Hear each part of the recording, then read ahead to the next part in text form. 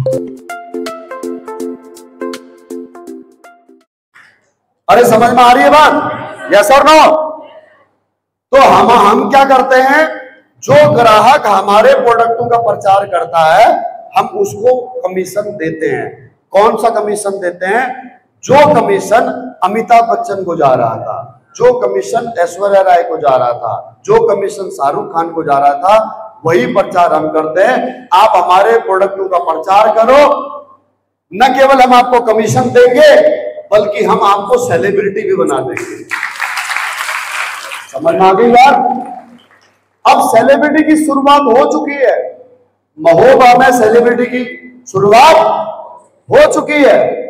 ये जितने आज ब्रॉन्ज और सिल्वर लोगों को अचीव, अचीवर्स को सम्मानित किया गया, क्या आज से पहले जो भी यहाँ पर भाई बहन मंच पर आए थे, एक बार हाथ खड़ा करो। खड़े हो जाओ एक बार। ना ना, जिनके गले में माला पड़ी लोग खड़े। जिनके गले में आज माला पड़ी लोग खड़े हो जाओ। आज आज। सर, काम तो आज से पहले भी करते हो गया क्या किसी ने आपको इस प्रकार से मंच पर ले जाकर के सम्मानित किया? क्या आप लोगों को सम्मानित किया आज से पहले? अरे, आज से पहले क्या आप लोगों को कहीं काम करने के बदले में सम्मानित किया गया? नहीं किया गया ना। तो इससे अच्छा और क्या काम हो सकता है?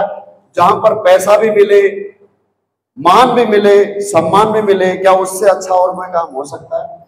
ये सेलिब्रिटी बनने की इनकी शुरुआत हो चुकी है। समझ में आ बात? थैंक यू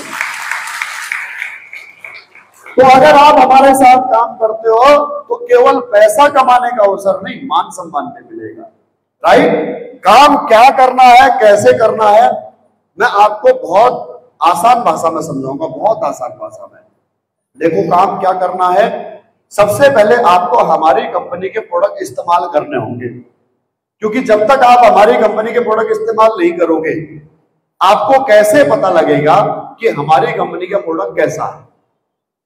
सही है, गलत है? या सर इस्तेमाल करोगे, तभी आप दूसरे को बता पाओगे और दूसरे को बताने का ही हमारे को यहाँ पर पैसा मिलता है। समझ पा गई बात? यस और नो अब वापस आता है कंपनी पर। तो कंपनी आयुर्वेदिक हर्बल प्रोडक्ट बनाती है और ये प्रोडक्ट हम लोग मार्केट में ग्राहकों तक डायरेक्टली पहुंचाते हैं और उसी का हम लोगों को कमीशन मिलता है। इतनी बात समझ में आ गई आपको? यस और नो अब प्रचार हम लोग कैसे करते हैं? हम लोग घर घर जाते हैं। हमारे लीडर्स जो है, सुशील सर हैं, या गीतांजलि मैडम है, या चचा हैं, या आबिद जी हैं, या शाहरुख सर हैं ये सब लोग घर घर जाते हैं। आप लोगों के भी घरों में आए होंगे। आप लोगों से भी मिले होंगे, बहुत सारे लोगों से। और आप लोगों को बताया होगा सबसे पहले आयुर्वेद के बारे में। आजकल होने वाली बीमारियों के बारे में। मोटापा कैसे होता है? डायबिटीज़ कैसे होती है? घुट्टू में दर्द कैसे होता है? इनके कारण क्या है? लीवर कैसे खराब होता है? किडनी में स्टोन कैसे आता है? क्यों आता है? ये क्यों बीमारियाँ होती हैं? और इन बीमारियों से कैसे बचा जा सकता है? कि खान पान ठीक करो, बाहर का खाना मत खाओ junk food animal product refined product burger pizza chocolate chow mein cake ice cream ये मत खाओ। बताया जाता है? यस और नो अरे हाँ या ना? अब ये बताओ, ये समाज सेवा का काम है या नहीं है? भाई हम लोग अगर इस समाज से, हमारे देश से ये पश्चिमी कल्चर जो है जो अंग्रेज़ों का कल्चर हम लोगों ने अडॉप्ट कर लिया आज की डेट में burger pizza chocolate chow mein cake ice cream खाना, ये हमारी ज़रूरत थोड़ी है। ये तो हम सब लोग फ़ैशन में खा रहे हैं ना। शौक में खा रहे हैं ना। क्यों खा रहे हैं? क्योंकि टीवी में ऐड देख रहे हैं। फ़िल्मों में दिखाया जा रहा है। हर जगह यही चल रहा है। अगर आप पिज्जा नहीं खा रहे हो, अगर आप कोल्ड ड्रिंक नहीं पी रहे हो, अगर आप आइसक्रीम नहीं खा रहे हो, अपने बच्चों को चॉकलेट नहीं खिला रहे हो तो आप इसका मतलब पिछड़े हुए हो। ऐसे महसूस कराया जा रहा ना हमारे को? ऐसे तो महसूस कराया जा रहा ना हमारे को? कि भाई आप मॉडर्न नहीं हो। सही है गलत है? जबकि ये जो सारा भोजन है, ये सारा भोजन केमिकल से बनता है। प्रोसेस फ़ूड जिसे हम बोलते हैं, चाहे वो बिस्कुट हो, चाहे नमकीन हो, चाहे चॉकलेट हो, चाहे चाउमीन हो, चाहे मैगी हो, इनमें सब में एक तो मैदा मिला होता है। दूसरा इसमें केमिकल मिला हुआ होता है। बिना मैदे के और बिना केमिकल के कोई भी प्रोसेस फ़ूड बन नहीं सकता। जितना भी मीठा आइटम आप खाते हो, चाहे केक खाते हो, चाहे आइसक्रीम खाते हो, चाहे चॉकलेट खाते हो, चाहे कोल्ड ड्रिंक पीते हो, इनमें सारा चीनी मिली हुई है। और चीनी इतनी अत्यधिक मात्रा में मिली हुई है, आप समझो कि आपको एक चम्मच चीनी खानी है दिन में। कितना चम्मच? कितना चम्मच?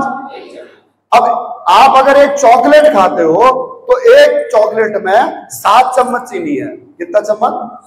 सात चम्मच चीनी। एक कोल्ड ड्रिंक की बोतल में सोलह चम्मच चीनी है। कितना? सोलह चम्मच चीनी। अब जितना चीनी शरीर में जाएगा, उतना मोटापा का कारण बनेगा, कोलेस्ट्रॉल का कारण बनेगा, हार्ट अटैक का कारण बनेगा, शुगर का कारण बनेगा, बीपी का कारण बनेगा, क्या? मीठा। समझ में आ गई बात? यस और नो तो अब ये कल्चर हम क्यों अडॉप्ट कर रहे हैं? क्योंकि हम फ़िल्में देख रहे हैं, क्योंकि हम टीवी देख रहे हैं, प्रचार देख रहे हैं। तो उन प्रचारों की वजह से हमारा ब्रेन वॉश हो रहा है। और हमारे देश में ये सब कल्चर जा रहा है।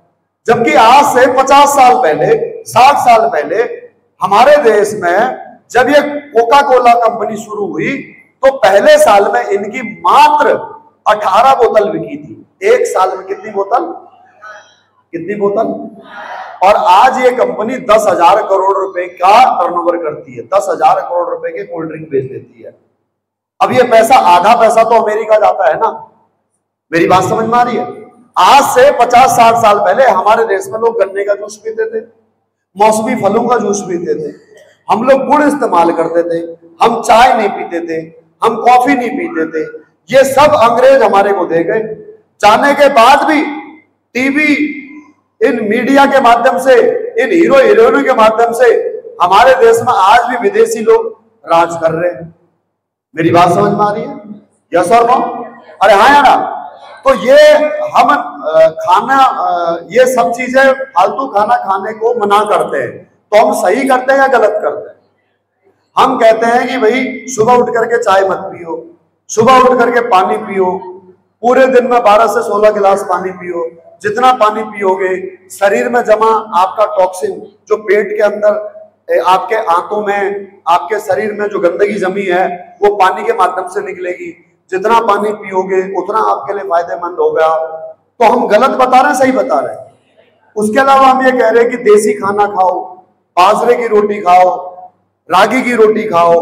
हम बता रहे हैं कि दाल खाओ, दाल में प्रोटीन ज़्यादा है। हम बता रहे हैं आपको पनीर खाओ, पनीर में प्रोटीन ज़्यादा है, चने खाओ, चने में प्रोटीन ज़्यादा है, जो आपके शरीर के लिए सबसे ज़्यादा ज़रूरी है। तो ये सही काम किया जा रहा है, गलत किया जा रहा है? अरे, सही कर रहे हैं, गलत कर रहे हैं। और आपको जान करके हैरानी होगी कि ये जानकारी देने का हम कोई पैसा नहीं लेते, बल्कि अपनी मोटरसाइकिल का, अपनी स्कूटी का तेल फूक करके आपके घर आते हैं। आप में से कोई प्रोडक्ट लेगा, नहीं लेगा, हमें नहीं पता। आप में से कोई इंसान हमारे साथ जुड़ेगा, नहीं जुड़ेगा, हमें नहीं पता। लेकिन ये जो हम काम कर रहे हैं ना, जिसमें हमारे समाज के अंदर, हमारे देश में अगर ये अंग्रेज़ी खाना छोड़ करके वापस लोग अगर हमारी पुरानी भारत की संस्कृति को अपना लेते हैं, जो शुद्ध भोजन है, जो आयुर्वेदिक भोजन है, जो हमारे शरीर के लिए अच्छा है, अगर वो भोजन करने लग जाते हैं ना तो हमने साहब सात जन्मों का पुण्य कमा लिया इसी जन्म के